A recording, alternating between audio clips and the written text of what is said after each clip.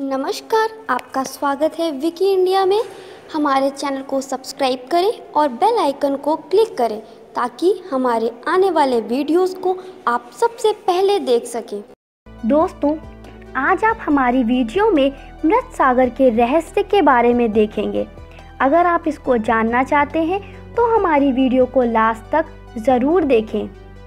मृत सागर या डेड सी, मध्य पूर्व एशिया में इसराइल और जोरोडॉन देशों के मध्य स्थित है।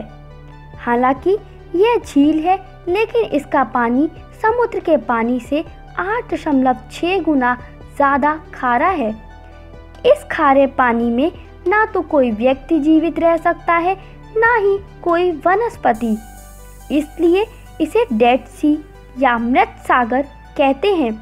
मृत सागर में समुद्र तल से 420 मीटर की गहराई में धरती का सबसे निचला बिंदु स्थित है।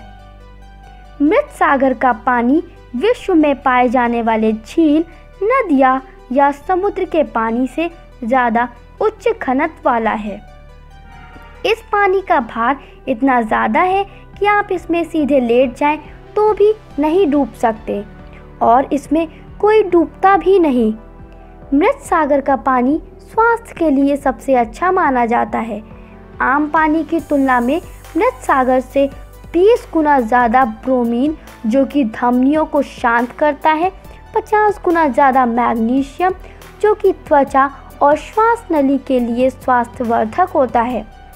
मृत सागर के कीचड़ और पानी को सौंदर्य प्रसाधन के लिए श्रेष्ठ माना जाता है। मृत सागर का पानी औषधि के रूप में भी काम में लाया जाता है।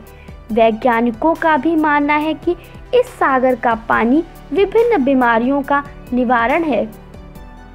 मृत सागर अपने चिकित्सीय गुणों के कारण एशिया में चिकित्सा पर्यटन का केंद्र बन रहा है। मृत सागर अरब के शहर जोरडॉन पर स्थित है।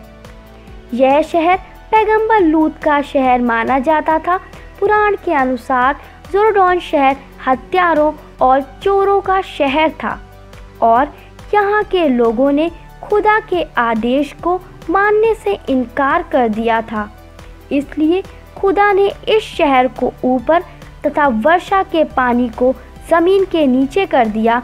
अगर आपको वीडियो पसंद आई हो तो वीडियो को लाइक करें, शेयर करें कमेंट करें। हमारे चैनल विकी इंडिया को सब्सक्राइब करना ना भूलें। धन्यवाद।